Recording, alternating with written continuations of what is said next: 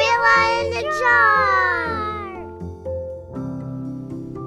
A nebula is a cloud of dust, hydrogen, helium, and other gases in interstellar space. Over billions of years, the clouds become more and more dense until stars are born. From the leftover gases and dust, planets. Let's make a nebula in a jar pretend we're scientists getting an up close look at one of these stellar nurseries. As with any experiment, use safety glasses and have an adult help you.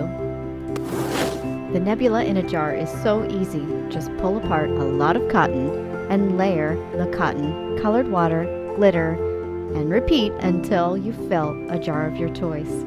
Get creative and have fun.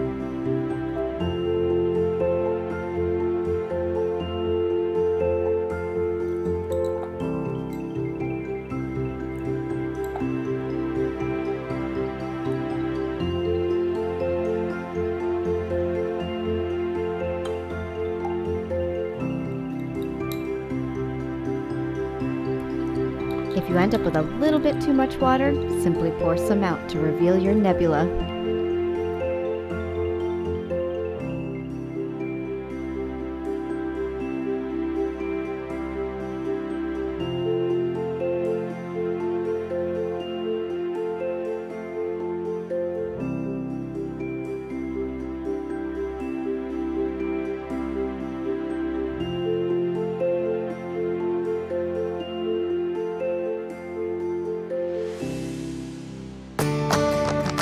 Thanks for watching. Subscribe for more fun.